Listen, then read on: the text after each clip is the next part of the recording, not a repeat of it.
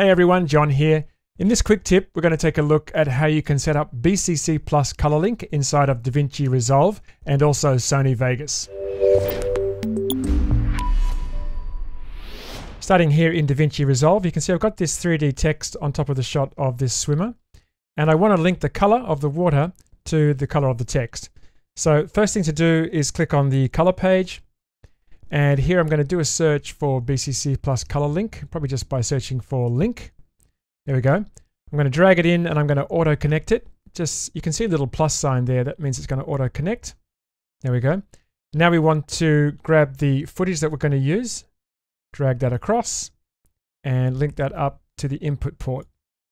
Okay, so the text here you can see has changed color, so that's working. But we need to get the alpha channel to work correctly. And to do that, we just connect the input into the keying port. You can see that's changed now. We also need to add an alpha output and just connect that to the alpha output. So that's the setup. And with that selected, you can see I can come in and I can now add some glow. And if I put that below the text by choosing glow under source, making that 100, you can see there's the glow below the text. And, you know, I can play with the colors, and also successfully add a drop shadow. Just enable that and you can see that's working as expected. So that's the setup inside DaVinci Resolve, pretty easy. Now let's take a look at Vegas. And here in Vegas, it's super straightforward. We've got the same setup here with the 3D text above the footage. So I'm going to click on the three dots for the 3D text layer and choose Compositing Mode Custom.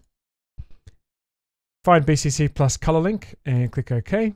And that's all we have to do. So alpha channel is already set up. So I can enable film glow and increase the glow under the source and also enable the drop shadow and it all works as expected. So hopefully you found that useful and you can go ahead now and easily use BCC plus color link inside of Resolve and Vegas. For now, this is John. I'll see you in the next tip.